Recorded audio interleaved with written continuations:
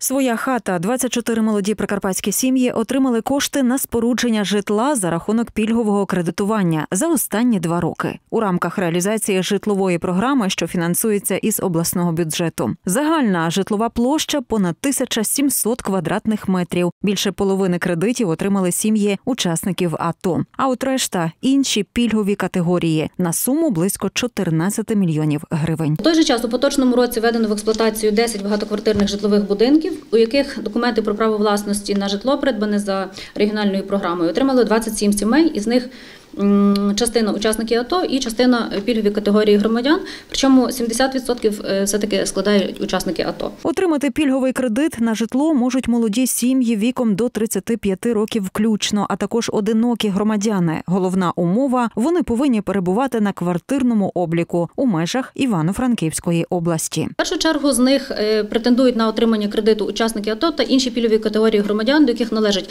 е, сім'ї, в яких батько або мати виконують виховують е, неповнолітні неповні сім'ї, точніше, де батько або мати самостійно виконують виховують дітей. а Також е, сім'ї, де є е, один із членів сім'ї працівником бюджетної сфери зі стажем роботи понад 5 років. Також це є учасники АТО і е, добровольці.